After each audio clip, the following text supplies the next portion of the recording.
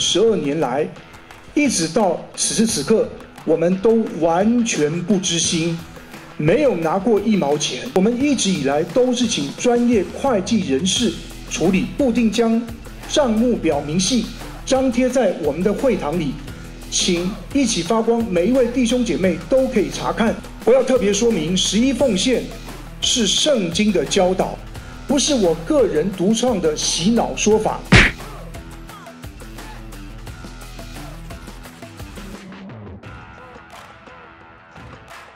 以下我要做几点的说明：第一，一起发光的财务金流一向交给专业会计人士处理，清清楚楚。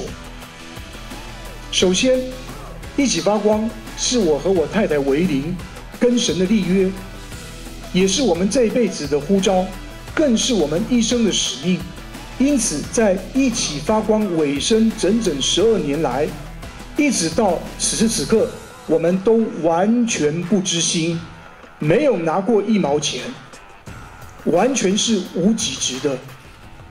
有关于一起发光财务金流，我们一直以来都是请专业会计人士处理，一笔一笔清清楚楚，并且固定将账目表明细张贴在我们的会堂里。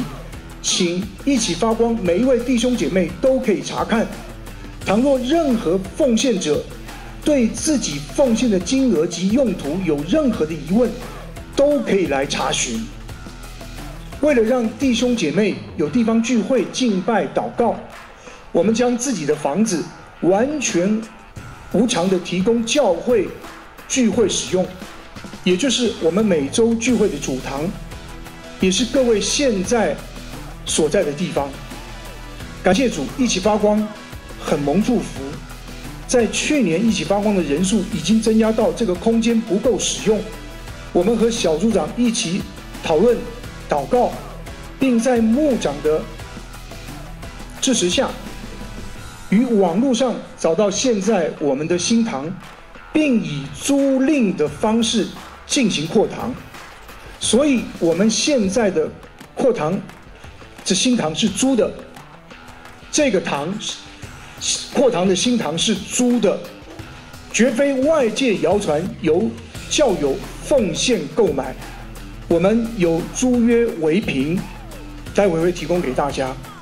有人提出我们强迫弟兄姐妹分期付款支持扩堂，但事实我们绝对不可能强迫任何弟兄姐妹来做分期奉献。参与建殿，在圣经的真理教导中是极蒙祝福的事。因此，在这次的扩堂，我和小组长带头奉献，并且配合也想要参加建殿蒙福计划的弟兄姐妹，让他们按着自己的心意及可以的方式来做奉献。我要特别说明，十一奉献是圣经的教导。在我们圣经马拉基书的三章第十节，万军之耶和华说：“你们要将当纳的十分之一全然送入仓库，使我家有粮，以此试试我是否为你们敞开天上的窗户，请服于你们，甚至无处可容。”这是圣经千年的教导，不是我个人独创的洗脑说法。所以，我们说十一奉献。是基督徒应尽的义务，各教会都是如此。但我们同时也强调，每个人要按着自己心甘乐意奉献，不要做难，绝对不可能有任何强迫或规定。我在教导中也清楚地告诉弟兄姐妹，没有感动而不奉献，完全没有关系。至于在奉献袋上写上名字，是为了让大家。